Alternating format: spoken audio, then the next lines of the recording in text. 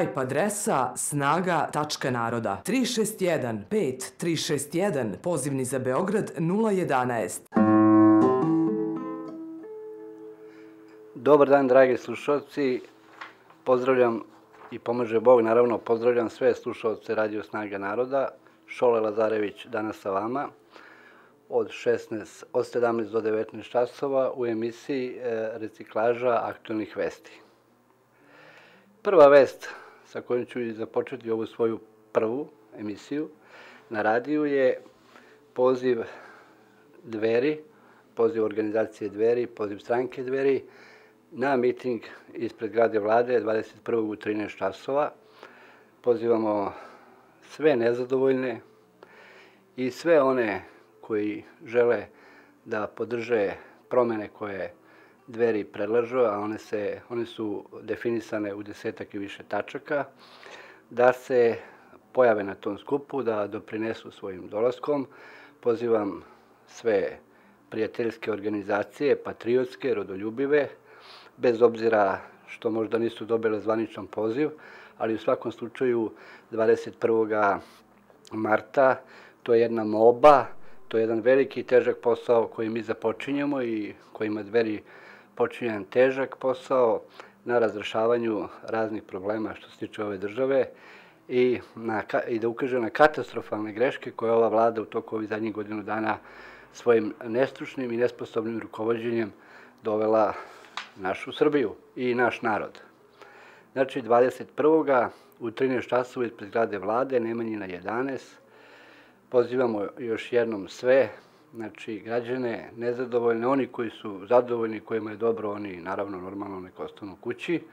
Svi oni koji se osjećaju ovakvom vrstom upravljanja zemlje ugroženi, znači narošto penzioneri i radnici kojima su umanjene plate, pozivamo ljude iz prosvete, pozivamo ljude iz raznih fabrika eh, gde vlada nije ispoštovala, ispunila svoje obećanja da će uraditi revitalizaciju tih preduzeća i tih firmi, da će ih postaviti na noge, da dođu, da se s nama zajedno udruže i da naravno iznesemo naše stavove po tim svim pitanjima i tim problemima. Što se tiče i drugih naravno odluka ove vlade u smislu geopolitičkih odluka i pozicioniranja Srbije u današnjem vremenu, u današnjem svetu, čime mi imamo tu isto takođe primetbe, e, ta mantra i taj stalni pritisak na narod da je jedini pravac, jedini cilj ulazak u Evropsku uniju. Mi ne mislimo tako, mi smatramo da, da je to greška. Zatim taj poziv da se e, ovaj, uključimo u tu alternativu takozvane vojne alijanse NATO-a, da je to također jedna velika politička, geopolitička greška. Zatim, ovaj, e, naravno, čitava ta priča o globalizaciji sveta koji treba da se na jedan način prenese i ovde, a to je i kroz obrazovanje i kroz pritisak na porodicu, da sad ovaj, ne detaljišemo, ali sve te teme će u svakom slučaju 21. marta na skupu dveri razjasniti, pokrenuti, izneti svoje mišljenje o tome i naravno to je početni skup i početni protest u ovoj godini. S početkom proleća je to tako simbolično ispalo da to tako 21. na početak proleća, da Srbija ustane, da se uspravi, da razmisli o tome šta je se nudi, da kaže onako glasno i zvanično da se s tim ne slaže i da naravno ponudimo rešenje tih problema i da krene Srbija jednim novim putem, a on sigurno, sigurno postoji i ovaj, dveri sigurno zajedno sa svojim E, partnerima, da ne kažem koalicijalnim partnerima u, u nastupu političkom vezano za taj deo političke javnosti, a to je ta patriotska pozicija, ima jasno izgrađen stav u kom pravcu i kako bi to trebalo da se rešava i da se reguliše. Ja sad pozdravljam sve svoje slušalce, slušalce Snage naroda i pozivam ih da se jave, da malo pričamo naravno o tom skupu, ako ih nešto zanima, da, da dam dodatno objašnjenja. I da zajednički krenemo da radimo emisiju koja se bavi reciklažom aktualnih vesti, što znači Vi svi znate, naši slušalci Snage naroda nisu obični slušalci, to su slušalci koji sa nama imaju već praktično godišnji kontakt, jer mi smo zimu proslavili prvi rođendan i mi znamo da to nisu obični slušalci, da imaju izgrađenu svoju kritičku misao, da imaju izražen svoj stav i da naravno ne gutaju te vesti sa Pinka i sa tih javnih televizija tek tako lako. Drugo, s obzirom da svi znate da je jedna opšta medijska blokada, da se druge opcije, osim one koje su parlamentarne, praktično ne mogu da čuju ni na jednom radiju, da ovaj, mi u tom smislu znači, smatramo da je vrlo bitno, osim toga što ne možemo da se čudimo, čujemo ni na jednom javnom servisu i na jednoj televiziji koja ima državnu frekvenciju, da je vrlo bitno šta ti mediji koji to imaju, šta u stvari plasiraju i nude građanima. I imamo jednog slušalca na vezi.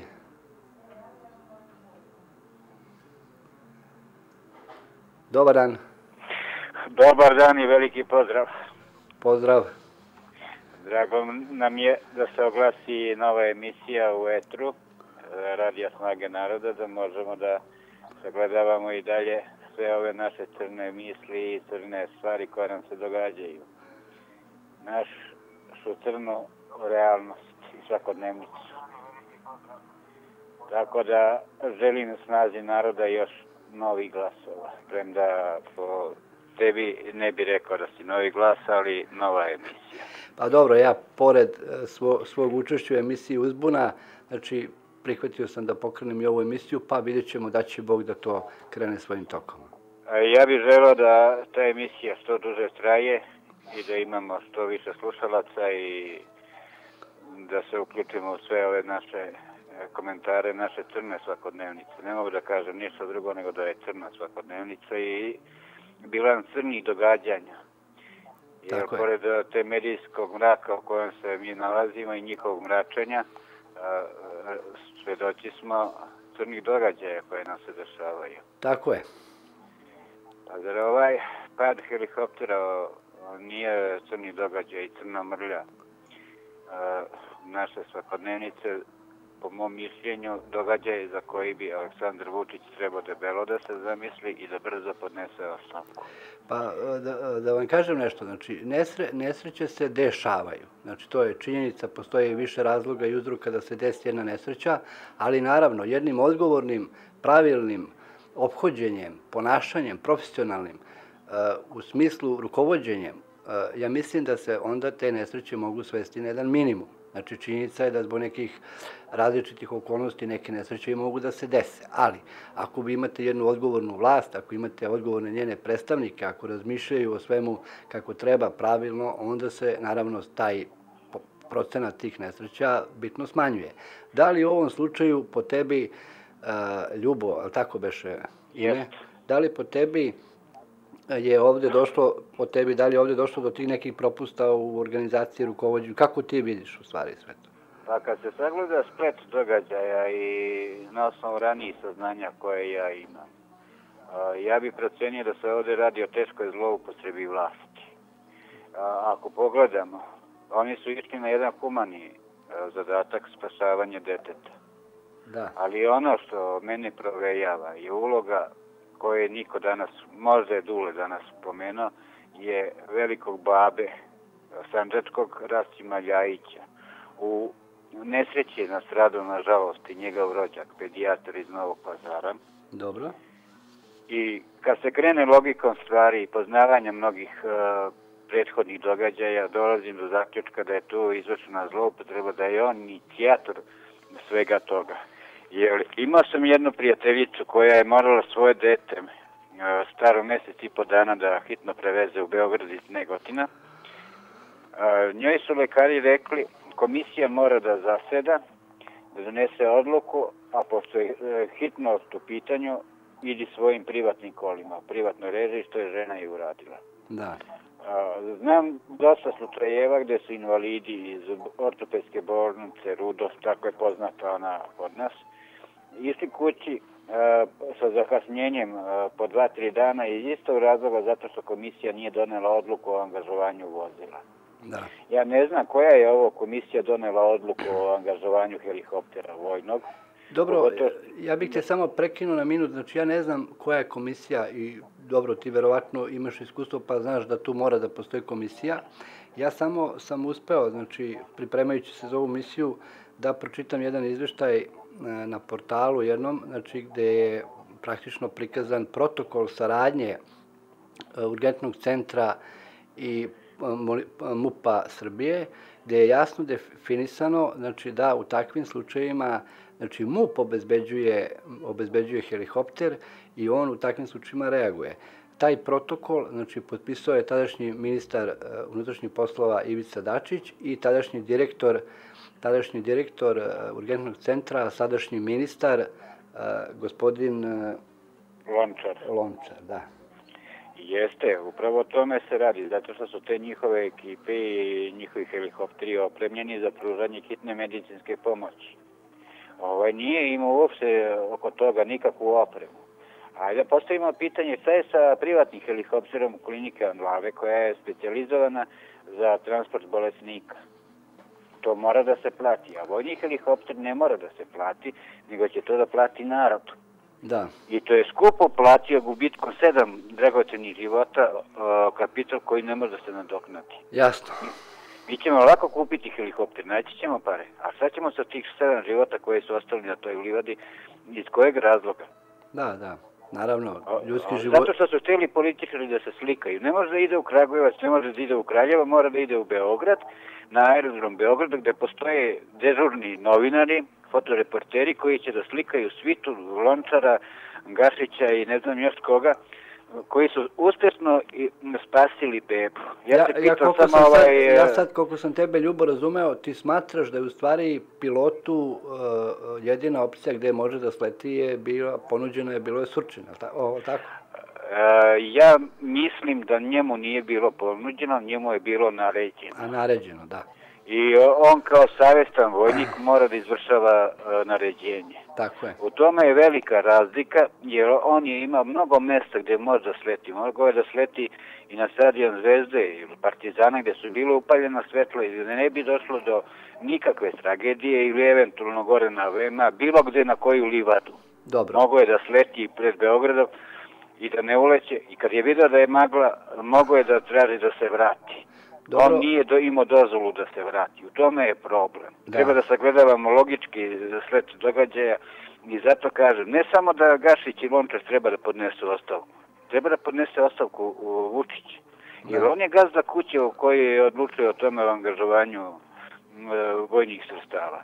Ovo je bilo čisto angažovanje po privatnoj liniji. E, rođače, imamo problem, Eh, aj nam pomozi, rođak će da zove, rođak babo će da zove predsjednika vlade i on će da naredi upotrebu vojnog helikoptera. Znači, da, da zaključimo znači, ovo tvoje izlaganje i analizu, znači po tebi ti smatraš da je cela, eh, cela ovaj, ta akcija počela od insistiranja Rasima Ljajića da se uključi taj, taj ovaj, ceo mehanizam? Uh, ja mislim da je u pitanju njegovo maslo tu sve, zato što se njegov rođak, nažalost, ponavljam, našao u helikopteru i izgubio je život.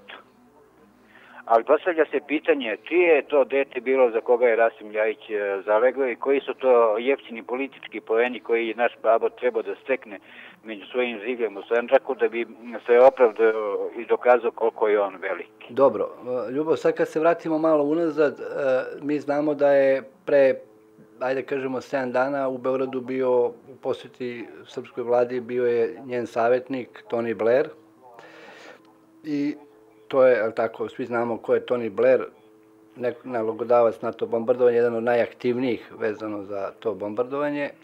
I znamo dobro da on više nije ni na kakvoj funkciji u državi e, iz koje potiče, međutim da se aktivno bavi lobiranje, lobiranjem, odnosno ima firmu ili kako već nazovemo to, bavi se znači marketingom, spinovanjem, promocijom, podrškom raznih vlada, raznih situacija i političkih i tako dalje. Da li ti misliš sada, vezano za ovaj događaj koji se desio, vezano za onaj događaj kidnapovanja one devojčice u Beogradu, gde je ispromovisan uh, ministar uh, unutrašnjih poslova Najboljša Stefanović, da li ti misliš da je ovo u, u tom smislu bila i ovo zamišljena akcija? Ovo jeste bila zamišljena akcija u cilju promocije pojedinaca iz vlade i njihov uticaja i njihove moći.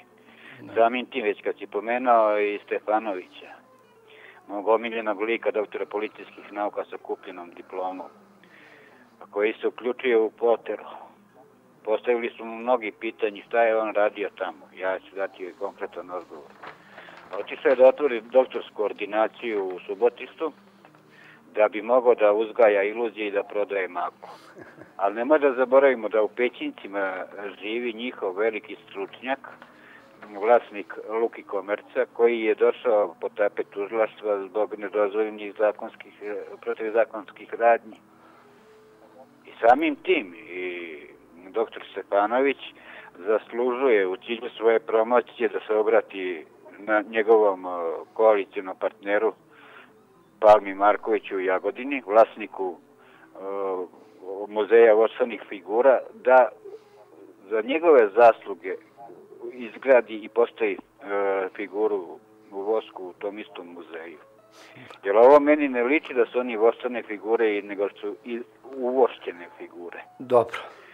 Samim tim što je, vidio si na raznim portalima, pojavila se i vest o formiranju specijalne nove AT je antiterorističke ili bilo, ne znam u koje startno svrhe dolazi jedinica, da. pod rukovodstvom i po savetu stranaca vrši to doktor Neš. Da. Ja mora da se reaktiviram, da se tu pokazem kao savjetnik, jer šteta je da takav genije po pitanju naše bezbednosti nema odgovarajuće savjetnike. Pa. Jedini savjet koji bi mu do, ovaj, dao kao specijalisti za anos demokratiju je mrdnji malo da i cipale ti uđu. važi, važi Ljubo, hvala ti puno na javljanju, hvala ti puno na ovom iscrpnom tako, mišljenju vezano to. Samo mi na kraju molim te reći... Još jednu molbu, ovaj, pošto znam da ste vi u problemu i oko prostora i oko svega, s obzirom da je krenula kupovina ovih stanova u Beogradu na vodi, E, I pošto sam ja to uradio, ja sam poslao vladi pismo namere sa, da kupujem e, stan u Kuli Faraona, pa bi vas molio da i vi uputite jedno pismo namere, gdje će nas vlada subvencionisati kao strani investitore, da kupimo mi tu stan po ceni od sitno Pa, ali ne vredi, ljubav, ti što ne vredi, velika je gužba, mnogo se ljudi javlja, eno, ja sam vidio dole red, jedan, veruj mi, znači to od reke pa do, do, do, do terazije. Ja, nećemo mi stajati u redu, mi ćemo da pošaljemo samo pisma zvanično i oni će to da razmotre, jer svi oni koji nisu... Ali, ali mora ono 30% da se, tako, nešto mora misli. Ne, ne, ne, A ne, ne mora. ovo će kao stranom investitoru sve oni plaćaju. Ne? Aha, sve oni, dobro. A pošto mi nismo njihovim redovima, mi smo strani investitori. Ljubo, dotako si još neke vesti, hvala ti, znači sigurno ćemo nastaviti u tom pravcu i te vesti ćemo reciklirati. Znači, želim da te pozdravim, pa da damo prostore drugim slušalcima da se jave. Sve najbolje. Hvala. E, da, da, kaže Ljuba, tako, ali da vam kažem nešto, e, dragi slušalci, kad razmislimo malo bolje, znači, pored te medijske blokade, odnosno te nemogućnosti da ljudi koji drugačije misle dođu na te televizije i radija i da kažu nešto šta misle, je tako, suprotno vladajućoj strukturi, dešava nam se da taj sadržaj praktično koji mi dobijamo na tim javnim medijima i javnim sredstvima da su ona vrlo bitna. Znači, koliko je to stvarno realno istina, koliko je to suštinski spin, koliko je to stvarno se desilo, nije se desilo. Mislim, znači, velike države u svetu, tipa Engleske, Amerike, oni su razvile čitave te medijske manipulacije. E, evo, imamo jednog slušalca, samo da završim rečenicu, E, manipulacije kojima u stvari obmanjuju sobstvenu javnost, prikazujući bukvalno stvari koje se nisu ni desile. Pa u tom smislu želim da posjetim slušalce i na onu akciju na Feketiću, želim da posjetim slušalce i zavezano za ono dešavanje u Francuskoj kad, je, kad su publijani oni novinari tamo. Želim da posjetim e, slušalce na masu, na masu takvih e, ovaj, spin vesti, odnosno totalno izvrnutih i nelogičnih informacija. Dobar dan. Halo, dobar dan. Se čujemo? Čujemo se. E, pozdrav svima i vašim našim slušalcima vama i našim slušnicama, Miroslav ovdje. htio sam da kažem samo neko svoje mišljenje, mislim, mi koji slušamo ovaj radio, nama je savršeno sve jasno šta se dešava. Mi koji naravno, naravno, ja nisam ni rekao da... Se preko ovog radija, znači, ljudi koji se uključuju. Ja mislim da mi trebamo a, to okupljanje koje će se dešavati u subotu, da krenemo od sutra uz podršku ovim prosvjetarima koji štrajkuju. I da što većem broju da izađemo. Znači, ovaj najnesrpski Beograd treba, ako ga sluša, po znacima navoda naš radio, sad ne znam tačno, znači negde od prilike oko stotina hiljada ljudi, tako se priča. Znači neka je, neka je 15 hiljada u Beogradu, ali daj neka izađu, neka krenemo jednom. Dosta je ove priče, sedeći slušajući radio i pričati treba, znamo mi sve što su oni radili, kako se slikali. Naravno, naravno. Sve je to nama apsolutno jasno. Nego šta ćemo mi da uradimo, koliko će nas biti, da izađemo i da li smo spremni da potpišemo i da idemo u tu šumu, jer ovde je sve doteralo što kaže naš narod cara do duvara.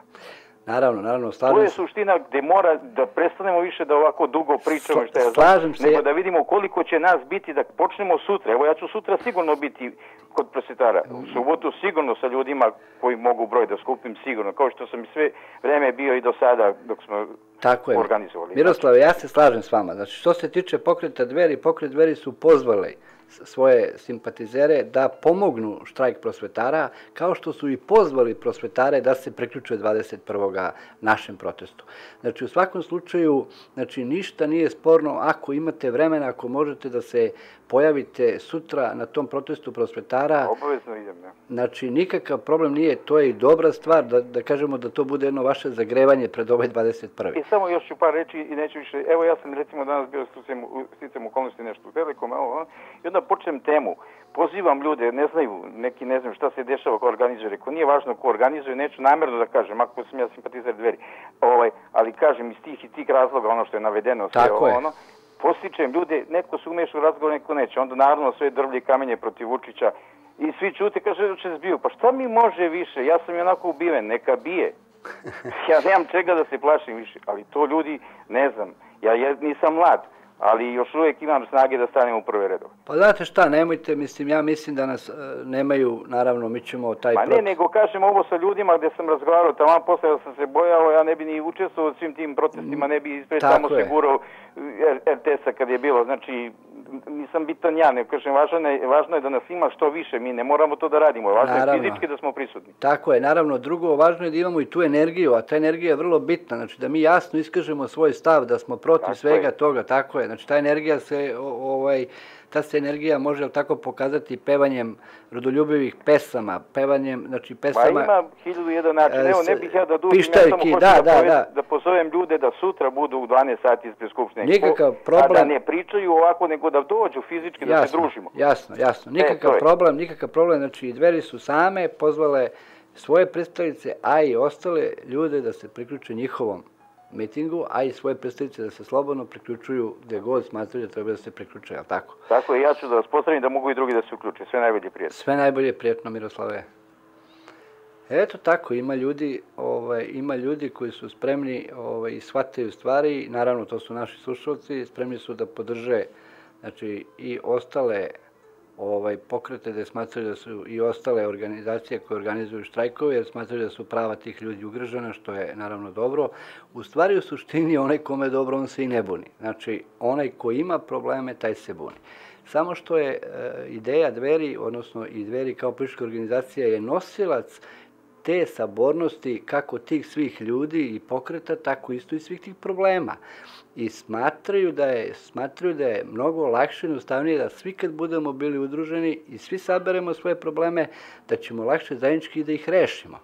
Jer ti problemi dolaze iz jednog istog pravca, a to je u stvari iz politike koju vodi trenutna vlast i e, stvar je znači, našim slušalcima tu vrlo jasna. Svakako, e, jedna od aktualnih vesti, e, kao što sam i malo pre napomenuo, je ova tragedija i pad eh, ovog eh, helikoptera gdje su život izgubili semoro ljudi, da li se radi o nesavesnom raspolaganju svojih ovlašćenja, da li se radi o pokušaju zloupotrebe jednog problema da se pretvori u jednu drugu priču, odnosno u jednu promociju ovaj, vladajućih struktura, da li je, znači ja sam danas čitao i neke izveštaje bivšeg komadanta te jedinice koji smatra da ljudi koji su stradali, koji su leteli u ovom helikopteru sada uopšte praktično nisu bili obučeni adekvatno da, da takvu jednu akciju izvode. Što znači opet postavlja još jedno pitanje, ako ti ljudi nisu krivi, na koji vršeba način su ovaj, primorani da to urade, jer su se očigledno tu situacije ovaj, skomplikovale i noćni uslovi i ta velika magla i verovatno to neko zadržavanje helikoptera, ovaj, sve su to problemi koji se očigledno ovde pojavljaju. Čak je bilo neke priče da je nestalo goriva, međutim to je vrlo brzo demantovano. Zatim, kažem vam, čitao sam vezano za taj protokol potpisan između, između ovaj, urgentnog centra i policije, gde se jasno dva potpisnika, tadašnji ministar, ministar policije i tadašnji direktor urgentnog centra potpisali protokol po kome je policija ta koja je obavezna da reaguje u ovakvim slučajima. Znači, helikopteri policije su opremljeni adekvatno ljudi obučeni da u takvim situacijama reaguju. E, zatim imamo, ja sam uvek bio sklon da nečiju politiku posmatram kroz ono što se dešava ovaj, dole u bazi društva. Naravno, analizirajući nečiju politiku, ajde kažemo, vi možete da je analizirate i posmatrajući crnu hroniku. Jer naravno, u jednom uređenom društvu, i ako to društvo vodi jedna prava i ozbiljna vlast i vlada, naravno da crna hronika beleži nagli pad u smislu raznih negativnih događaja. I u smislu pojave kriminala, i u smislu pojave E, organizovanog kriminala, pojave korupcije, pojave tako dalje, dešavaju se mnogo manje tih nesrećnih slučaja takozvanih samoubistava, dešava se mnogo manje tih mogućnosti da neko umire zbog neadekvatnog lečenja, dešavaju se mnogo manje tih slučajeva takozvanih nestanka ljudi, dešava, dešava se mnogo manje migracija naroda iz države prema spolja, a sve su to elementi koji čine jednu crnu hroniku u današnjoj Srbiji i ovaj, analizirajući e, razne izvore i razne podatke, došao sam do jednog e, strašnog e, rezultata. Znači da nama u toku dana, svakog dana u Srbiji, znači nestane četiri osobe. To je frampantna stvar. Da nama u Srbiji, znači dvoje ljudi stradaju zbog kriminalnih aktivnosti da nama svakog dana od desetak pokušaja samoubistva jedna osoba to uspe.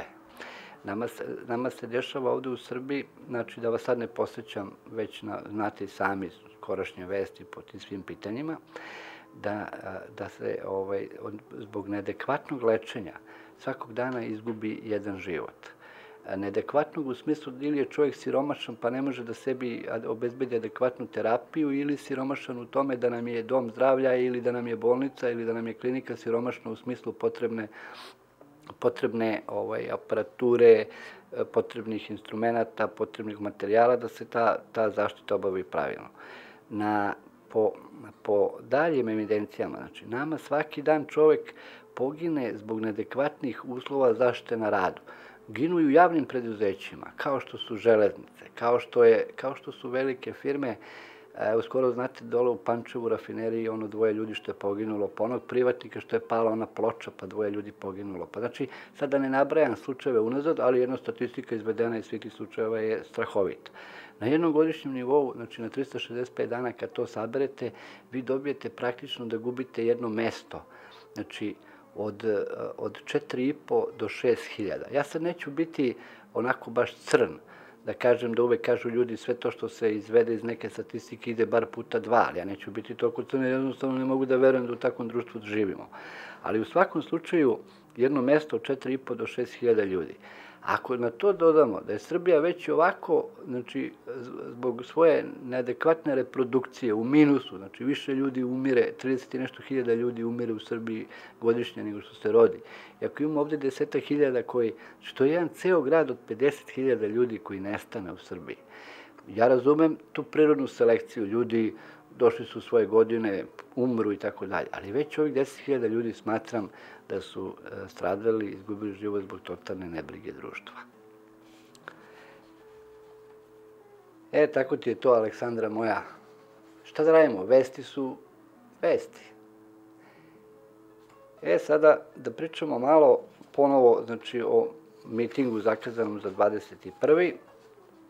Ideja dveri je znači, da se tu okupe svi ljudi koji su uvideli sve ovo o čemu mi pričamo, koji su uvideli sve te propusti, propuste vlasti, koji su uvideli da se ova vlast totalno neodgovorno ponaša prema svom narodu, u svakom smislu, u socijalnom smislu, u kulturnom smislu, u geopolitičkom smislu, u političkom smislu, izazivajući razne probleme, turbulencije i tako dalje, i pritom vršići jedan, da kažem, amoralan pritisak na taj narod jednom represivnom silom, a to je malo pre ono što je ovaj, pričao Ljuba, vezano za formiranje sad evo ispade još najspecijalnijih jedinica, jer nije im valjda dovoljno sve tih specijalnih jedinica da mogu da zadrže, ovaj, da zadrže stabilnost svoje vlasti, naravno. Ljudi štrajkuju, eto imali smo skoro tragediju u, u, u, u Resavici, u rudniku Resavica, gde su postradali oni ljudi. Znači ja sam sticam okolnosti kao mlad novinar još 1980. neke godine kad se desio tamo jedan veliki nesrećan slučaj, pisao neki članak, naravno ni u ono vreme mi niko ništa nije hteo da objavi, ali eto tako tom, taj događaj od skorašnje me posjetio na sve to. Jako mi je žao tih ljudi tamo, jer bio sam u tom rudniku, ovaj, gledao sam sve kako to izgleda, kakvim je oprema, kakvi su im uslovi rada. Gledajući danas, ništa se to nije promenilo na tu 1980 ja mislim da je bila peta ili šesta, slagaću vas, ovaj, kada sam tamo bio da to sve vidim, da, da, da, da, da pokušam da napišem o tome članak. Šta imamo dalje od vesti? Sljedeće vesti su da se Beograd na vodi praktično vlada povlači urgenciju, uh, urgenciju da se na Skupštini donese uh, ili, ili predlagač na vladi donese se zaključak da se tu preduzimaju radnje, da se taj Beograd na vodi gradi.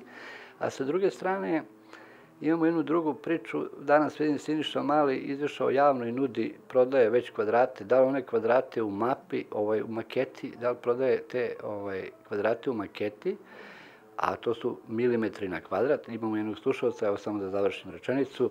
Ili, ili ovaj, prodaju realne kvadrate. Ja sam čuo da je gužva velika, čak i on sam kaže da je gužva velika, tako da ljudi, Beograd na vodi se gradi našim sredstvima, javite se, stanite u taj red, ali da vas posvetim, setite se da Fine, setite se Jugoskandih banke, setite se perioda piramidalnih banaka, setite se svega što je već Srbiji urađeno. Dobar dan. Dobar dan. Srećna emisija, gospodin Slava. Dobar dan, Slavice. Srećna vam emisija nova. Hvala, Slavice. Pa, ovo je vam pameti. Beograd na vodi, onda ostali, lepo su porazili da Fine sacirati naciju, dovesti u bezživotno stanje, raditi, čovjek nema osjećaja uopšte, ni oni oko njega. Imali su uvek komunističke te prevarantske prevare, uzmali od naroda novac, živali, uživali, uživali, narod se mučio, patio i Baja, kako bismo rekli mi na stranu, naučio da uzima i briga njega za narod pravi on Beograd na vas. Tako je. Mislim, sram ih bilo i njega i onog Marku. Znate na koga mislim? Da, da, Slavice. I tako, mislim, strašno šta se radi. Narod je u totalno. Evo, danas uh, sam imala prilike da čujem koji su i malo imali onako neku nadu i da će da prežive u suzama su. Da. I ne znaju šta će se radi, ljudi. Kaže, ne, ne može se više. Pa zato Ali ja... da, e, znaš šta, ako on nije normalan i on je oko njega, jel ima neko normalno u toj familiji, u, u bilo kom, pa kako ih je samota, još sam nameću njihovu desu da ne drže predavanje. Šta treba da prič, da razimo i da se ponašamo. Pa kako ih nije samota? Biće još više i više na, na ulici, sa kako god, sa pozivom, bez poziva. Da. Jer ovo je nepodnošljivo, drsko, bezobrazno, tako da... Slavice, ako se ne držimo zajedno, tonućemo, tonućemo odvojeno. To je znači... Ne, ne, mora narod da se ujedini za... Ne, to zato što ste rekli da su sad i oni koji su imali malo nade i koji su ikako preživljavali, sad su počeli da se bude, da, da vide gde Da. se nalaze. Da, tako je. Da. Sve Pa nas, znači, sve ne nas, mogu više, jednostavno, e, za hiljad dinara da prežive dok sve plate, neko nema ni hiljadu. Mislim, a oni što rade kako se ponašaju i razbacuju, pa kao da... Znate vi da na selu ljudi su u 80. godinama nikad na more nisu otišli. Seljaci. da. A oni zimovanja, letovanje, seljak po ne više može- ne može pa, seljak- nova godina, pa, pa se. Seljak, Nado, ne može, on čovjek ima obaveze, tu su živa bića, tu su deca, tu je stoka, tu je krava, svinja, kokoška. Ne, nima ni para. Da. Mučio se. E sad, isto tom seljaku, ti hohtapleri uzimaju kuće, uzimaju stoku, sve živo. A znate kako ovaj e, Kostić, Miodrag Kostić, ovaj Šećerko, e, Da, da. kako je skoro bio gost na, ja mislim da je bilo na prvoj televiziji, i sad on hrabri ljude kako treba ljudi da prihvate prodaju zemljišta, kako trebaju, znaš, da prihvate da državno zemljište postane privatno. I onda u jednom momentu on kaže, ja sam se naravno zapanjio, kaže, pa nije važno čija je kokoška, važno je ko kupi jaja. ja sam počeo da se smejem. Kao on je hteo da kaže jednu narodnu izreku u tom smislu, ali ta naravno izreka u narodnom smislu totalno njega demantuje i njegove napore i šta je hteo on da kaže. Ja se bojim da bi e, on onog momenta kad bi dobio pravo na kokošku, istog momenta tražio i svoje pravo da ovaj da kupi svoja jaja. Ili bi rekao, pa dobro narode, ako baš snese dva, eto to jedno ću da dam vama. Ne, ne, pa znate, ti kriminalne pljačkaške mafije. da, Znači da pljačka, da ga ne zanima da, da šta ima da pričamo. dobro Nado, To hva... traje, traje dugo, dugo, predugo. Krenulo se, otkrenulo se i najbolji simbol, simbol im je petokraka. Jedva čekamo nacije da se uspostavi. 21. Nado dolazite. Da, da. Dobro. Hvala vam puno što ste se javili, što ste me pozdravili u mojoj prvoj emisiji, podržali svojim komentarima, pa se čujemo, Nado. Doviđenja, Nado. Da, da, eto, ljudi, ljudi se javljaju, a ljudi se i trezne, što reče Nada, ovaj, Slavica, shvatili su, znači, da oni kojima je do juče, eto, bilo koliko toliko dobro, shvatili su da ovo što se dešava u Srbiji će progutati i njih. Pa onda, eto, da spreče, pa su počeli da se pridružuju. To je dobro, to je dobro. Naravno, treba prepoznati problem pre nego što vam voda ovaj, pređe preko ušiju jer ovaj, posle može da bude i kasno. Lakše je rešavati problem, ali tako, dok je voda do pojasa, jer onda bar imate snage i da hodate i da nešto kažete i da rukama mašete, a ovako inače kad voda pređe, onda je to teško. Eto, dragi slušalci, ja ćemo sad Aleksandra malo otići na pauzu, pa se čujemo za desetak minuta ponovo.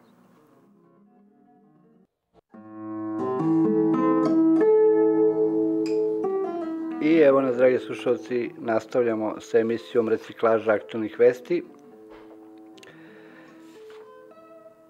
Kaže, Sanitet Novi Pazar zvanično su dali e, obaveštenje da su oni svoj deo posla uradili odgovorno, da je vozilo koje je prevozilo kritično, u kritičnom stanju bebu, petodnevnu bebu, obezbedilo i dodatni kiseonik i da je ono tako prevozeći automobilom moglo, znači, zaista da zadovolji njene potrebe, znači taj kiseonik koji su imali sa sobom, da su oni to uradili apsolutno profesionalno, što onda postavlja pitanje e, stvaranja čitave urgentne situacije oko tog slučaja i angažovanje podvarenim pod varenim okolnostima E, helikopterske jedinice, znači u spasavanju tog deteta. Znači, da se vratimo, dobrodošli u Radio Snaga Naroda još jednom, dobrodošli u emisiju recikliranja aktualnih vesti. Danas vest broj 1, koje pričamo, to je znači, zakazani miting, odnosno protest e, pokreta dveri, a sada i stranke, ispred vlade Srbije 21. u 13 časova. I e, putem te vesti, znači želim da vas pozovem sve da se priključite, a i naravno pozivam vas sve da se javite u emisiju, da eventualno pričamo i o tome događaju, da pričamo o organizaciji, da pričamo šta su, šta su, šta su razlozi uopšte tog protesta, kao naravno i sami slušalci koji su izabrali da je u stvari najaktuelnija vest ipak pad ovog helikoptera, stradanje sedam i gubljenje sedam ljudskih života i sve okolnosti koje su pratile. Bojana Lekić je zvanično iznela svoj stav vezano za vesti koje su se javile, koje su objavljene i javile se, znači praktično e, pre samog tog tragičnog slučaja na raznim portalima, a čak i u politici, a čak i na nekim medijima, da je helikopter sleteo e, uspešno, da je, da je beba znači, praktično dovezena u Beograd na vreme. Ko je objavio te vesti? Kažu agencija Beta, znači traži se odgovornost agencije Beta, traži se od, uh, Bojana Lekić zahteva da se zvanično znači ljudi izjasne odakle im te vesti, koji ih je objavio, zašto su uopšte puštene tako, medijski etar i da li je to sve deo jednog plana, znači o kome su se slušalosti ovdje izjašnjavali, a ja pričao. Znači, doneli smo još dve vesti vezano za ovaj događaj, a to je za znači, sanitet Novog pazara je zvanično iznao informaciju da su oni obezbedili sve to, taj kiselnik i da je to sve moglo da bude, da ne bude vanredno, nego je moglo sve u normalnim okolnostima da se odradi. Imamo Bojanu Lekić koja postavlja pitanje ko je izbacio uh, sve informacije znači i utvrđuje da je to agencija Beta i koji su sve ljudi to objavili. Zatim imamo onu teoriju koju je ovaj, naš slušalac ovde izneo, e, to ne bih baš, jer ja nisam sigurno proverio nigde to video kao vest. Imamo izveštaj bivšeg, bivšeg e, komandanta te jedinice koji kaže da ti ljudi nisu bili adekvatno obučeni, da je, to, da je taj helikopter bio opremljen, ali da imati opremu i upravljati tom opremom nije isto. Znači, da li su ti ljudi adekvatno obučeni da upravljaju to? Evo imamo evo slušalca, dobar dan. Dobar dan. Blagoje Ristović ovde. Recite. Pa, ja bih ovaj, ipak zamolio da, da ne pravimo špekulacije oko toga da li je bilo obučena, nije. Ipak treba pokazati neki pijetet prema tim ljudima, ali postavljam jedno osnovno pitanje. Ako je problem bio što nisu imali dovoljno kiselnika, prvo treba pitati zašto nisu do, poneli dovoljno boca sa kiselnikom, recimo, ili... Jer vi niste što... čuli, jer vi niste čuli da sam ja sad upravo pročito obaveštenje saniteta Novi Pazar. Znači da su oni poneli i rezervnu bocu. Znači da su imali kiselnika apsolutno dovoljno za redovan i normalan prevoz tog deteta. Dobro, onda treba postaviti pitanje što su nas lagali da je helikopter mora da ide, zato što je nije bilo kiseonika, pa da ne bi dete ovaj, e, Upravo da. preminulo. Upravo... A, drug, a druga stvar, čak recimo, e, da je, da je istina da nisu imali kiseonika, što nisu drugim kolima poslali ovaj, e, kiseonik. Do, dodatni kiseonik, nego da dižu helikopter i tako dalje, znate? Jasno, jasno treba postavljati ta logična pitanja, a ne dirati u te stručne stvari, jer ja sam slušao sada na, na TV Vojvodini, a, gde su govorili o tome da, to, da je to nemoguće da je helikopter imao neku dodatnu opremu, a da ovi nisu bili obučeni. Naravno, svako ko je profesionala zna da to ne može da bude. I tako ne treba u to da ulazimo. I, ali ja, ali ja, ja, ova... samo želim, ja samo želim, evo, znači, pošto ste vi to pokrenuli, a ja ću vam samo dati obrazloženje, da. znači, postoji zvanična izjava bivšeg komandanta, znači čoveka koji je do 2006. godine bio komandant te jedinice, znači koji ima čovek e, e, desetogodišnji, dvanestogodišnji staž, koji je leteo na helikopterima i Mi-8 i Mi-17 da. i svim ostalim i zna čovek i obučavao je i radio je kao instruktor, obučavao je te pilote, on je rekao da smatra da piloti koji su, znači nisu bili obučeni za ovu aktivnost i akciju. I on je baš dao obrazloženje u svom tom, tom svom obaveštenju, znači zašto ne bismo verovali bivšem komandantu, tako, te jedinice, da, da se radi o tome da taj helikopter može da ima opremu, ali ako piloti nisu obučeni da je koriste, to je kao da je i nemaju. Jel me razumete šta hoću da kažem? Ma razumem ja vas, ja sam se bavio stvarima upuštanja opreme u rad i tako dalje, pa znam kako to izgleda i, i da nekad ljudi hoće da, zna, da kažu da znaju, a ne znaju. Ali da to pustimo ono što mi treba da vršimo pritisak. Da se stvarno na čisto se izvedu, izvedu svi ti ljudi u tom lancu. Pa evo i taj koji je u penziji, koji je to rekao. Da. da ni, znači da se suoče svi zajedno pred jednom neutralnom komisijom i da se dođe do istine.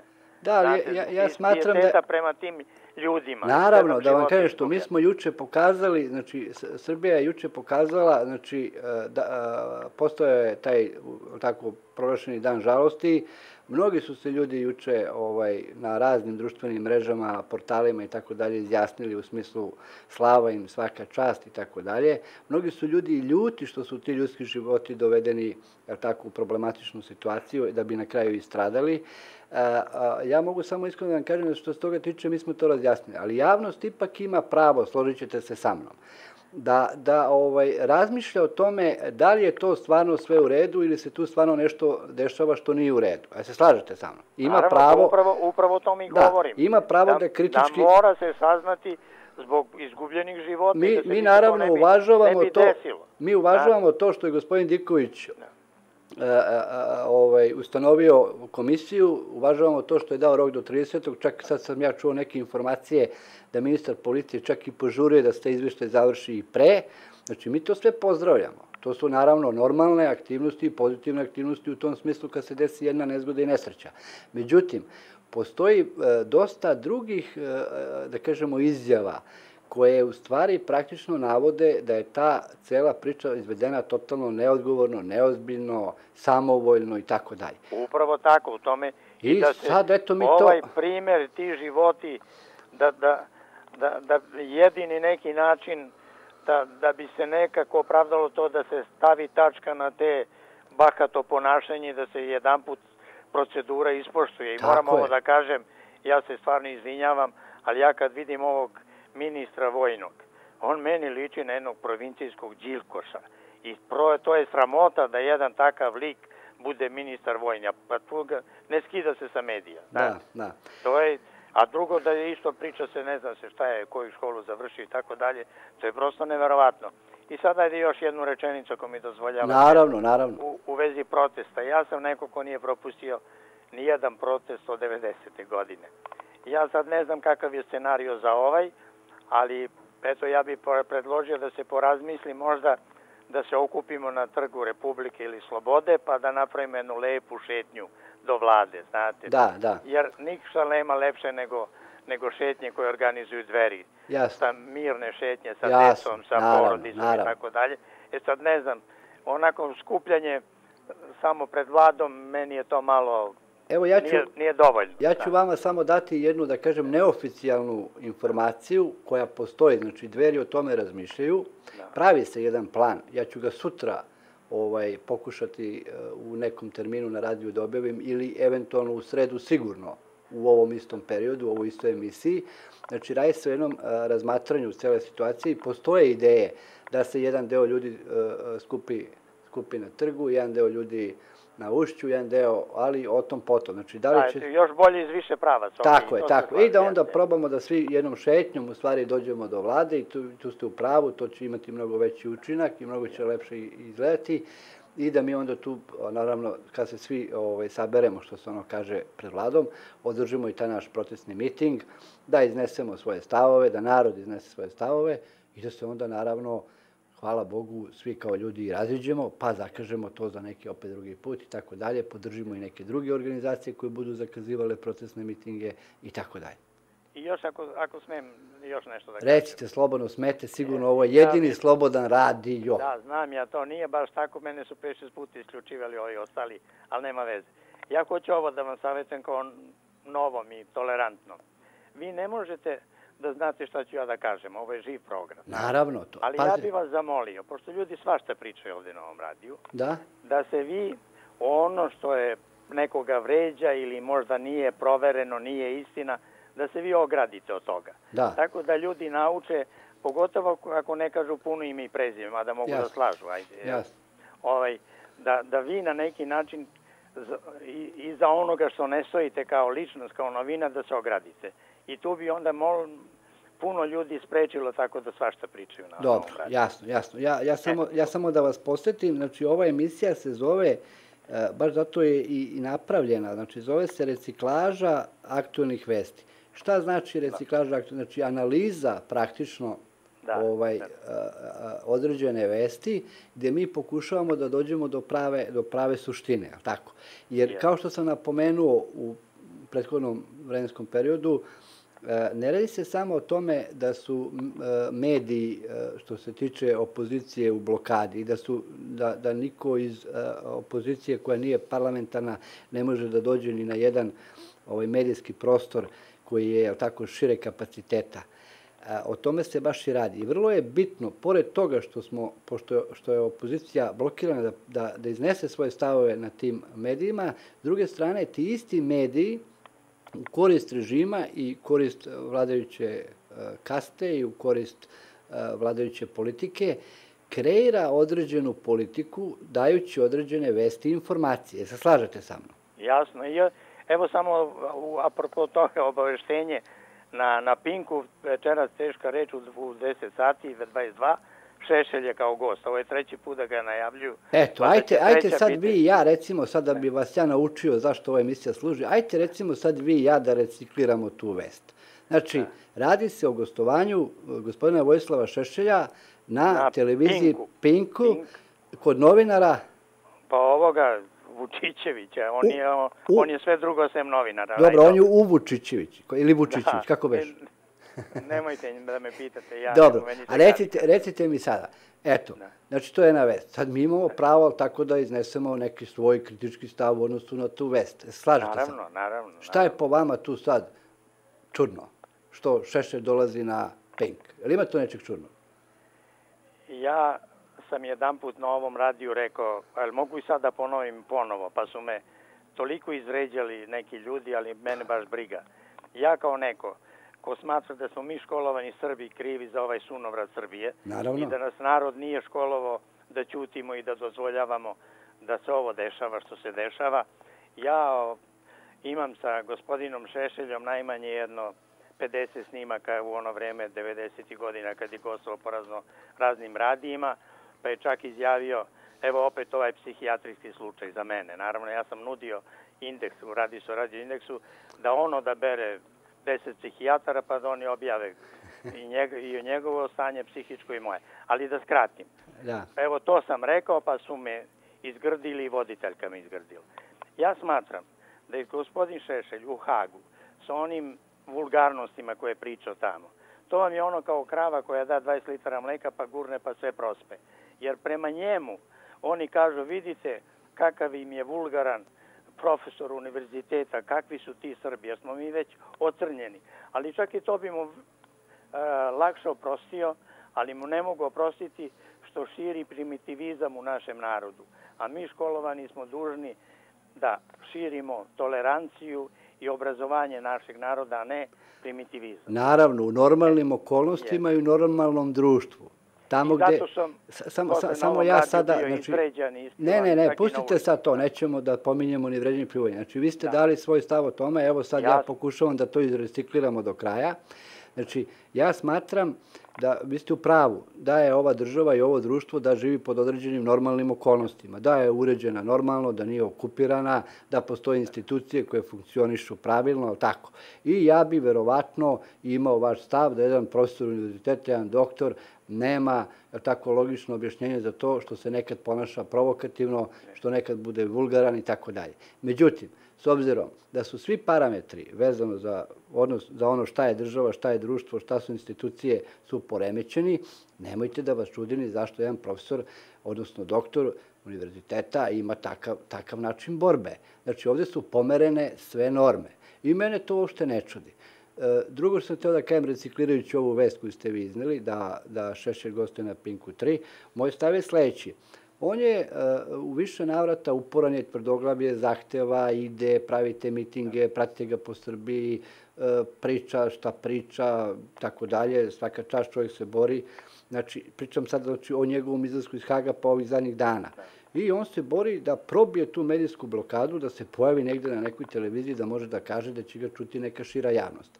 Naravno, on čovjek pri tome pokušava da bude i kad treba drzak, i kad treba bude fin, i kad treba... Naravno, on se, politička je to vrsta borbe njegova da dobije medije koji su, jel tako, koji imaju državnu frekvenciju. Što se tiče same, samog njegovog stava, borbe i načina na koji se on bori u Hagu, Ja tu zaista gospodinu Vojislavu Šešelju ne mogu da zamerim ni jednu reč. Jer tamo među onim neljudima u Haškom tribunalu gde se on nalazio, imao je, verujte mi, apsolutno pravo da se na taj način ponaša i brani. Razumete me? Znači, ja odvojam njegovu priču vezano za Hag i za tih 12 godina boravka tamo, skidam kapu, svaka čast. Znači, to je odranio, branio i sebe, branio i Srbiju. Branio... Ne, ne, pa da me ne razumete pogrešno. Naravno. Ja, ja nisam ja sam gledao ono što su puštali, ono na kašičicu, sve vreme šta je on govorio. Ali znate, kad on njih tamo ovaj, dovede u situaciju da ne znaju šta će da kažu, pa sve pokvari onim vulgarnim sovkama. Znate, ipak mora da vodi računa o tome, jer oni će samo to da iskoriste. Znate. Da, ali on je ipak njih pobedio. Pa dobro, to, to je sad... Hoćete da kažete da to još nije završeno? Pa ne, mislim, sramota je, on je otišao tamo dobrovoljno. Mi da ne govorim ja sada... Dobro, dobro, jasno, znate, jasno, ovaj, jasno, jasno. Ako nemojte sada da... Ne, ne, ne, recikliramo vez da, ja, je on večeras u 22 časa. Da ja mislim o Hagu, pa Hag to je nešto najsramnije u, što, što, što će, nadam se, ja ver, možda neću dočekati, pošto sam star, ali vi mladi hoćete, to, to će se pričati kao nekom sudu koji je najsramnije nešto u, tako je. sudskoj praksi. Tako razumete? je, tako je. Da, da, da ne budem ja pogrešno shvaćen da ja mislim o njemu, ja mislim o njemu sto puta gore nego možda i ovi koji su bili tamo. Ali e, moramo voditi računa ako hoćemo da se borimo protiv Zapada, on, i tih koji, koji su nam okupirali zemlju. Da. Onda moramo da se borimo nekim argumentima koje oni ne mogu da, da, da zloupotrebe. Znate, kao što, što to zloupotrebe... Da vam kažem nešto, postoji jedna granica, ja moram da kažem što sad vezano za ovu vašu, postoji jedna granica kada vi, ovaj, da kažem, imate taj, eh, eh, da se radi recimo o sportskom takmičenju, pa imate sad to neko pravilo bontona, moralnosti, odnosno da se radi o futbolskoj utakmici, da ne krljate, da ne cepate, da ne, tako, da ne pravite namerno ono, rukom da izbacite loptu iz gola i šta ja znam. I ja se tu sa vama potpuno slažem, na tom nekom moralnom nivou. Ali, znate, kad se radi o okupaciji države, kad se radi o rušavanju vere, kad se radi o upropašćivanju jedne privrede i pljački, kad se radi o, o, o, o ovaj, uništavanju jednog naroda, Znate, na način na koji oni to rade. Verujte mi, vi ste dužni i obavezni, i vi, gospodine, isto, ste dužni i obavezni da ustanete i da se protiv tog okupatora borite na svaki mogući način kojim raspolažete. Potpuno se slažem. Znači, ja, ja ne mogu da sagledam sad problem između okupatora i nas, a, gde mi moramo da poštujemo neki bon ton, da se branimo nekom a, politikom koja je, kako da kažem, ovaj, na, na neki način, ajde kažemo, kastrirana u smislu da budemo kulturni, pa, fini. Pa dobro, ste gledali kako se branio Slobodan Milošević? A? Da. On ih je, ako ćemo iskreno, on ih je više rasturio nego Šešelj. Pa jasno, o, pa da. nije sporno da su naše patriote i ljudi koji su tamo bili uhapšeni. Ja se slažem da se Milošević tamo branio časno. Ja se slažem da je Milošević bio kriv srpskom narodu. Ali ne slažem se s time što je Naravno, bio, što je bio pošto, isporučen tom sramotnom sudu. Vi pošto nisu mogli ništa da mu urade, oni su ga na kraju ubili. Mislim, to, to ja, ja jasno, jasno, jasno, punim jasno. imenom i prezimenom. Pa dobro, bolje je što su, su što su Vojislava, bolje što su Vojislava Šešelja pustili nego da su ga ubili, u svakom I, slučaju. I, I s tim se slažem, naravno. Da, da. Ovaj, e, da, samo još, pošto sam odužio, a nema smisla da se još neko javi. Recite. Ja nisam čuo kako se vi zovete, jer sam sad se uključio, a bilo bi dobro više puta da ponovite ime i prezime. Pa zovite me kako mi... hoćete, nemojte samo da me razbijete. Znate, ne, ne, da... ali stvarno bi volio da znam kako se zovete. Ja se zovem Šole Lazarević. E, pa dobro, fino, važi. Važi. Hvala vam puno što Hvala- ste me saslušali, izvinjavam se. Hvala vama, prijetno. Ostalim što sam malo duži, ali vi ste nastavili priču, pa je zato ispalo duže. Hvala, prijetno. Te- E, tako to kaže naš slušalac. Znači, dobili smo sad još jednu vest koju ćemo da recikliramo, a to je gostovanje doktora profesora Vojislava Šešelja na Pinku 3. Znači, dragi slušalci, javljajte se, zovite, učestvujte, reciklirajmo. Znači, imamo trenutno vest broj 1, to je vest 21. mart u 13 časova ispred zgrade vlade. Imamo drugu vest, to je događaj, događaj e, ove tragedije velike sa padom tog helikoptera. Imamo znači, treću vest ovde, da kažemo naznačeno, to je ovaj slušalac koji se sad javio, a to je da... Dobar dan. Dobro večer, ja malo pre Aleksandri rekao dobar dan, pa pogledam napolje ono mrkli mrak. Ali je, nemojte da vam se smrklo već u ovo vreme, molim vas. Odavno se meni smrklo novac. ovde Ljubiša Đurović, Poštovanje, gospodine Ljubiša. Srećko Šojić, radioaktivni. O, gospodine radioaktivni. E, ovako, u principu bi se složio sa prethodnim govornikom. U smislu? Ono što je govorio za Šešelja, ali e, e, Vojislav Šešelj i Slobodan Milošević su dva različita tipa čoveka. Naravno, I svako ima svoj tamo stil. tako je. poštujem. E, ono što je vulgarnosti koje je izrekao Šešelj, on je to uradio ciljeno. Tako je. Znači ciljeno da bi privukao svo, št, e, e, veću medijsku pažnju i privukao je i deklasirao ih tamo kako ih deklasirao. Mislim, ja da sam na mesto bilo kog tog sudije, što kaže, pobjegao bi glavom bez obzira, ne, ne bi se pojavio više. Ali Jasno. takav je to mentalni sklop. Nažalost, mi to ne shvatamo. Ove, oni bi, a i ovdje je to nažalost prenešeno kao virus, za pare sve radi. Tako, oni su imali svoj zadatak i tako, oni tako. su radili za svoje honorare. I- Baš njih briga Ma, da li je to- istina, ono istina, šta je Jer, istina. jer se stvari brzo dešavaju Tako i brzo je. zaboravljaju. Tako je. E sad što se tiče organizacije, e, neću da ovaj govorim svoje, ali se slažem i, i pametno je što će na više mjesta da se okupi narod i posle svi ti na jedno mesto. Tako je. To svi koji se bave toj organizovanim skupovima znaju da tako treba. Tako I je. tako treba. E sad nešto ovaj sa Blagojem Bristovićem se ne bi složio, on kaže trg Republike ili trg Slobode. Tamo nije spomenik ni Republici, ni Slobodi. Niti sloboda, da. Tamo je spomenik knezu Mihajlu Obrenoviću, utemeljitelju Tako je. srpske državnosti. Tako je. Prema tome, za mene je to trg kneza Mihajla. On se pre zvao ovaj, pozorišni, Trg, Jel tu- da, da, da, da. dok da. nije izgrađen. Ali, ja kažem, za mene je to trg kneza Mihajla Obrenovića. Pa eto, to je I lepo. sad kako, ko hoće da shvati... Da, da, ne, predlog vam je odličan, lep, meni se sviđa. U moje vreme, moje vreme, se govorilo... Kod konja. konja, jer bila Da. je to jedna uh, restoran, kafana. Da, da. a, zvala se kod konja. Meni je to strašno smetalo i kad mi, mi neko rekao kod konjama, rekao konj ti znaš već Da, da, da, da. A, to nije spomenik konju, nego čoveku koji je na konju. Da, da, da. E, toliko o tome.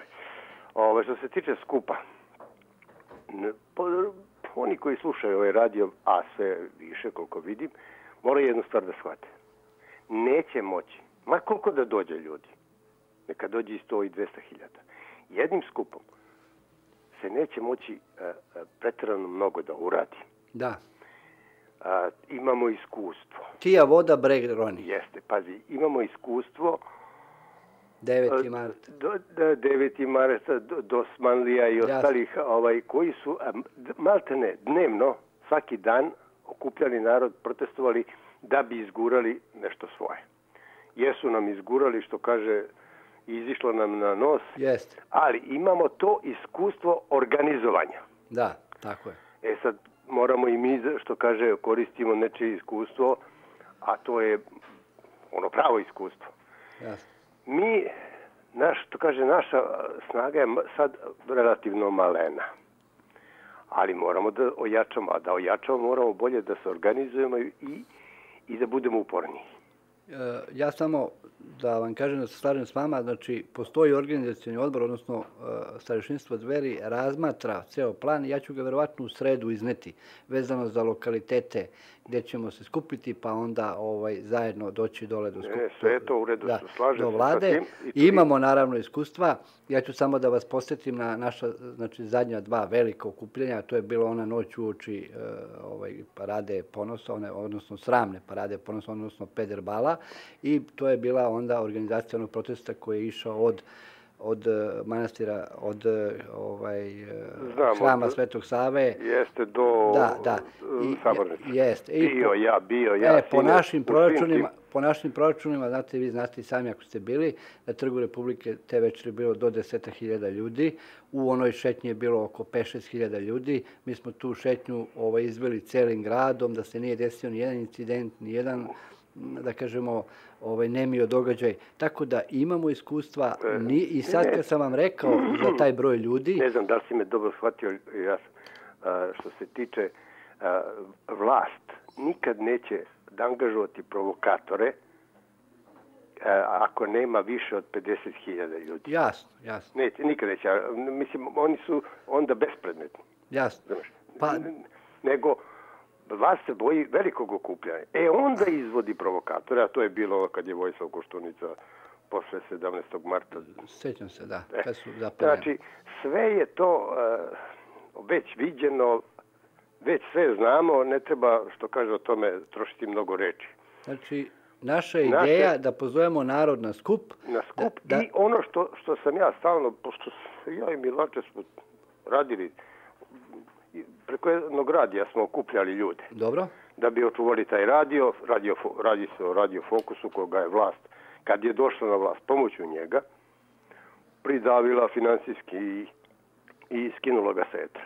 Da. To, to, to radi svaka, uh, što bi rekli, nenarodna vlast, ona, ona koja gled, troši svaki medij kao toalet papir. Da.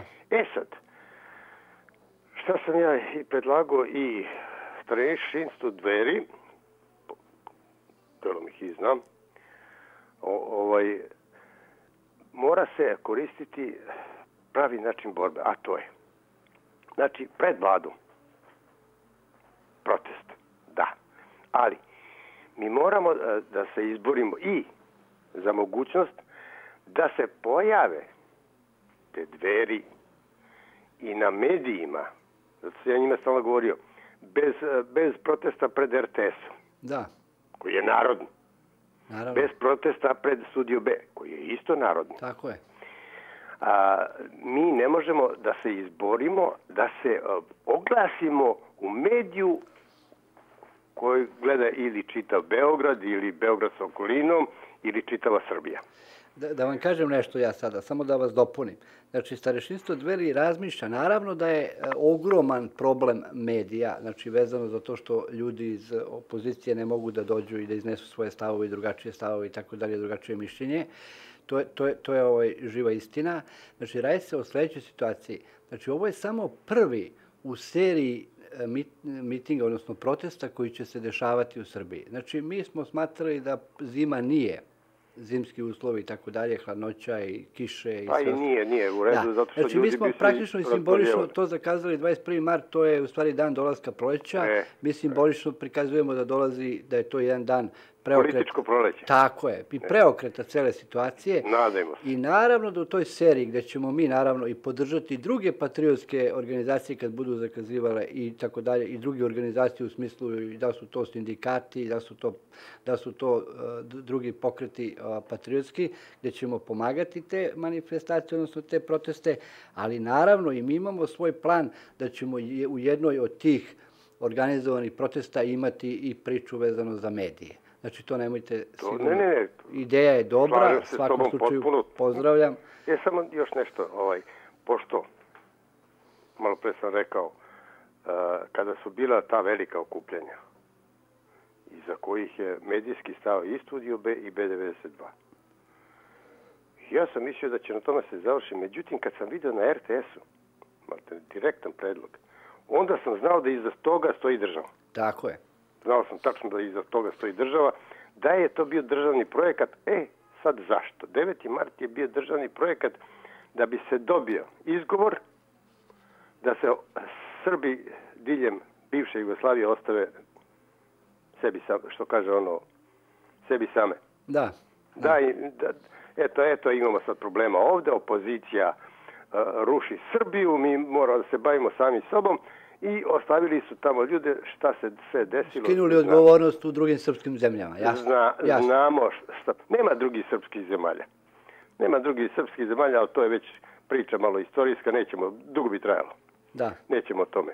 Nego kažem, znači ovo mora da bude početak i pritisak na medije, rekao sam ko je, da bi mogli da dođe ljudi tamo koji drugačije misle, da. koji žele da promene prvo, Evo u tom smislu, ja se izvinjam samo pošto se emisija bavi recikl, reciklažom, reciklažom vesti. Znači, vi ste izbacili, odnosno svi znamo da večera Šešelj u 22 časa gostuje na Pinku 3, ali tako? da, da, ali pazi, nije ni Ali to može da bude isto ventil u smislu projekta da a, vlast, Tačno. tako je, da vlast e, to podeli... Sam isto, to sam ja mislio, ali pazi, ja sam malo stariji. Vi ste pa- mislili, a ja sam rekao. Pa, e, odlično, samo ti Da, da. pomozi. To- to može da bude- Staro čiki, ovaj, nije to loše, to može da bude baš, baš ciljano, Da se oslabi, da se oslabi, međutim, malo su se preračunali, znaš. da. To da. što se Šešelj da se pojavi, ok, ali hoćemo mi da se pojavi i dveri, pa Tako hoćemo da se pojavi i Siniša Kovačević sa svojom, hoćemo da se pojave drugi. Svako, Jer naravno. ovde, ovo što, ima jedna opasna stvar koja se, koju Čanak gura ovde, a to je da se Srbija podeli na pet izbornih celina. Pazi, da se vasi ne dosete, znaš. Jasno. Znači, malo nam je a, separatizam u Vojvodini, nego ćemo još tako pet, Srbiju podeliti još u pet ovaj, delova, kako bi napravili pet separatističkih delova i nema Srbije, naravno. Eto, i vi ste kandidovali jednu vest, a to je, znači, ova vest vezano za Čanka. Idemo, znači, nastavljamo dalje. Tako, ajde, svako dobro što kaže ono, pa moramo prvo da stvorimo i jednu kulturu udruživanja. Naravno, Kulturu udruživanja i druženja i upornost. tako je. Nema bez toga ništa. Pozdravljam sve slušalce Radi Snaga naroda, tebe i ekipu, da ste mi živi i zdravi, pa vidimo se što kaže ono, teto, teto. Eto, Aleksandra Čula, imaš pozdrav. Ma, Aleksandrica i ja smo stari drugari. Važi. Svako E, dobro Sve najbolje, svako dobro, pa se vidimo 21. Je prijetno.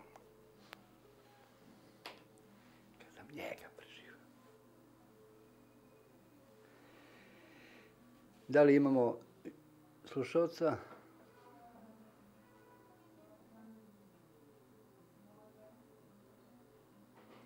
Dobar dan. Dobar dan, Šole. Srećan ti novi početak od Boga. Hvala Pomaže Bog i vama tebi svako dobro od tvojim Boga. saradnicima. Kako da vam se obraćam? Obrati se sa Dragoljube Popovića iz Gračanice. Evo poštovanje, gospodine Dragoljub Popović. Hvala, gospodine Šole. Kako ste? Hvala Bogu, nije loše. Dobro. Kako ste vi? Pa evo, borimo se, spremamo se, znači prva vest u ovoj emisiji je ovaj skup 21. Pa eto, povodom toga kao prve vesti, a onda zatim su slušalci kandidovali sledeće vesti vezano za ovu nesreću koja se desila s ovim pilotima, pa smo imali kandidovanu vest vezano za gostovanje, gostovanje gospodina doktora Vojislava Šešelja na Pinku 3 i tako, eto, svašta po nešto malo radimo. Pa vidim da se spremaju protesti u Beograd. Da? Vidim sredstva informisanja da se sprema neki protest za sutra, 17. marta. Da. Ali bih, e, moje mišljenje je da je to protest na pogrešnu adresu. Da bi trebalo da se ode ispred Patrijašije. Da. Srpske i da se tamo protestuje. A reći ću vam zašto. Vladika Artemije je podneo tužbu protiv NATO pakta. Dobro. U toj tužbi je tražio da se plati učinjena šteta, učinjena šteta srpskom narodu. Dobro. To je bilo posle povlačenja one tužbe koju je Milošević podneo, a ovi Povukli. povukli, ovi doso, dosmanlije, kako ih vi Da. zovete. E sad počinje pritisak. Pa ja mislim da je narod zove tako. Mislim, i vi, i mi, pa i ja narod. ih tako zovem, ja još malo lepše, samo neću da se izrazim. Dobro, dobro. Da, da. ovaj, e, sad šta se dešava? Vreme prolazi i ta tužba treba da bude aktivirana Da. u Stresburu. A, naš patrijarh žuti, ovaj, koga su doveli žuti na vlast, Tadić i kompanija. Ovaj, Dobro, ja ne bi, ja ne bi, a nemojte da se ljutite, ali ja ne bi, patrijeh je patrijeh, svakako na nama je da se molimo da on donosi Pa pravilne dobro, i možda je dobre. on tebi patrijarh, ali meni nije. I jednom delu vernika sigurno nije koji nisu prihvatili ekumenizam, a s obzirom da se patrijarh izjašnjava javno kao ekumenista i da saslužuje i sa katolicima i sa jevrejima i sa muslimanima i kogod god dođe i kogod prođe kroz Beograd može da dođe sa njime da se saslužuje i da je to suprotno kanonima, da je to zabranjeno kanonom 45 Dobro, a mene interesuje šta ste htjeli da kažete time, znači... e, Htio sam da kažem da od, o tome kako je vršen pritisak na vladiku Artemija, Dobro. da se povuče ta tužba. Prvo je taj patrijarh došao, tražio od vladike da povuče tužbu, vladika je odbio. Pa se onda oglasio sinod Srpske crkve, u kome sede sve ekumenisti o- ovaj, u tom sinodu koji godinama se ne pomeraju, koji ne poštuju zakone Srpske pravoslavne crkve, Irinej Bulović i kompanija. I oni donose odluku da vladika povuče tužbu. Vladika odbija. Onda donosi odluku Sabor. Vladika odbija. Onda dolazi Tadić, onaj nesrbin srbomrzac, onaj nesoj, da izvrši pritisak na vladiku Artemije. Vladika i to odbija. Dolazi i Biden, onaj potpredsjednik Amerike. Vladika uopšte ne želi da se susretne sa njime. E onda dolazi komisija koja vrši popis vladike Artemije. I oni donose odluku, smenjuju ovog vladiku Artemija da vode vladiku Teodosije. I onda se povlači tužba. Znači da je naša crkva, ne svi, nego pojedine vladike, stala na strani NATO pakta protiv sobstvenog naroda. Time što je povukla tužbu koju je vladika podneo protiv NATO pakta. I da bi trebali prvo da se počne tamo sa demonstracijama, sa čišćenjem u Srpskoj pravoslavnoj crkvi, pa tek onda u vladi. Jer su nam prethodno ekumenisti i Vatikan uvalili vladike poput Irineja Bulovića i Pa kompanije. ja, ja, se, ja se slažem s vama savršeno. Smatram da posljedice okupacije su delovale na sve segmente državnosti, znači i na sve elemente koje čine jednu državu, na sve institucije. Smatram da su vršile pritisak i, i na, na Srpsku pravoslavnu crkvu. Naravno, nemojte se ljutiti, ja sam novinar i ja nemam baš sve te informacije tako, ali nadam se, prihvatam vas kao jednog dobronamernog slušalca, e, ovaj, smatram da je sve to tako. I ja se slažem da srpski narod treba u svakom smislu da podupre onaj deo naše crkve koji se bori protiv svih tih ovaj, tako nemilih stvari koje se tamo dešavaju. I prema tome zato kažem da bi trebalo prethodno da se ode ispred patrijašije, da se Ja ne znam u stvari o čemu se radi sutra 17. e, Da li je sutra protest prosvetara, ali tako koliko ja znam. Ne znam, ima više protesta, pa zato da ne... su tu i neka udruženja, neke nacionalis- nacionalističke grupe ipak pripremaju da obeleže 17. marta. Dobro, naravno, 17. mart je bitan, jer tad se I da desio se taj pripremaju program. Da odu ispred vlade. Da. Da. vidimo razloga ispred vlade, više vidimo razloga ispred e, patrijašije. Pa dobro, znate kako, da vam kažem što sam taj organizator verovatno ima neku svoju ideju i verovatno je u tom smislu i pozvao. Znate, vrlo je bitno, ako već pravite neki protest, da znate pred kojim ćete ustanovom to da uradite da biste izvršili maksimalni pritisak. E sada, ako je organizator napravio takav izbor, verovatno za to postoji razlog. Ja sad samo ne bih volao da se oni razmojiđu, mojiđu, pa da neki jedan deo ali tako opet bude tamo, jedan deo bude tamo, onda dolazimo do jednog ali tako razilaženja u čitavoj organizaciji. Ali taj organizator, verovatno ko je to radio, je ovaj izobro i, i adresu gdje će da se taj protest obavi. Ja znam da, da, da sutra ima sigurno znači, je štrajk, štrajk prosvetara, čak je ovaj sindikat policije zakazao jedan svoj štrajk u toku nedelje. Znači ima protesta, idu oni za redom jedan za drugim. Čak znam da su i neke građanske inicijative, koliko znam i ovaj sveštenik vezano za vezano za, onaj, za, ono, za onu branu gore kod Valjeva. Kod Valjeva, da. Jeste, jeste. Valjevske gračanice, da. Da i on ima neki protest. Znači, u principu, nama je bitno da se narod osvestio, da je digao glavu, da, da vidi da ima puno problema i da je rekao, alo, vi ne možete da rešavate te probleme i ukazuje tako svojim protestima da, da, na te probleme. I to nam je bitno i mi mislimo da je taj, to je jedan proces koji je nezaustavljiv, je tako? Jer ako imate sve te probleme koje smo, eto, vidite, sad i nabrojali, sve te proteste gde ljudi kroz te proteste pokazuju te probleme, to oni traže rešenje.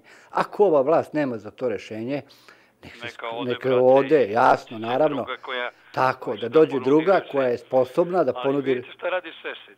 Šešelj uporno razbija srpsku nacionalnu struju svojim on stalno je nešto... Dobro, vi možete da kažete da on ima želju da to možda uradi. Znate, možda bi ja to tako definisao. Pa tako je radio i 90-ih, brate. Pa dobro, eto, mi sad da kažemo, mi, mi analiziramo sve što se dešava i naravno i nje... Je razbijao tako srpsku opoziciju 90-ih? Pa da, ali možda je srpska opozicija tad bila možda malo naivnija, možda nije bila naivnija. Ne, neću sad ulazim u to, ali da, hoću da vam kažem... Nije samo razbijao, on je prodavao srpsku opoziciju. Da, da, pa je da. uzao 22 miliona maraka u to vreme. Da, znam za one rezultate izborne i tako dalje. Pa. Sve je meni jasno to. Mi smo tu, znači da to sve pratimo, zato se ova emisija zove reciklaža ovaj, aktualnih vesti, jer kroz ovu emisiju mi želimo u stvari da analiziramo sve te vesti, da analiziramo šta one imaju kao značaj, gde one mogu da budu u budućnosti problem ili gde su negde u pozadini već se pokazale u prošlom vremenu kao problem.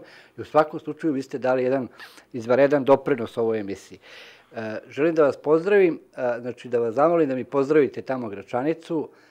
Mogu li još jedno par? Naravno, može. 17. marta, posle onih paljevina, ubistva i proganjanja Srba, državna bezbednost e, aktivira svoje ovde na, na terenu, Ranđela Nojkića, Rado i kompaniju, da oni izađu na izbore koje raspisuje, koji su bili raspisani tada na Kosovu. Iako još krv maltene nije se osušila srpska, Ranđel Nojkić i kompanija, koji ne žive na Kosovu, nego žive od Kosova, koji su sve prodali šitarima, koji nemaju ovde apsolutno ništa, koji su oselili svoje porodice van Kosova, Veljko Dalović, Rada Nojkić, oni dolaze i izlaze na šiptarski izbor. Mnogo više prostora se daje onim Srbima koji žive od Kosova, nego nama koji živimo na Kosovu. Pa eto, vi ste jedan od redkih radija koji tako omogućava nama koji ovde živimo da progovorimo šta se ovde zaista dešava. Šole, hvala ti i zbogom.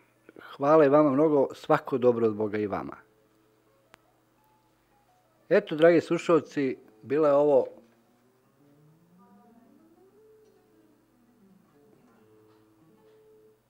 prekinula se veza.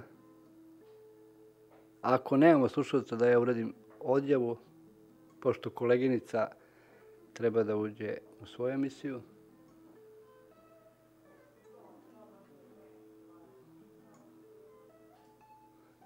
Nemamo slušalca. Znači, dragi slušalci, želim da vas pozdravim, da vam poželim laku noć, da vas pozovem da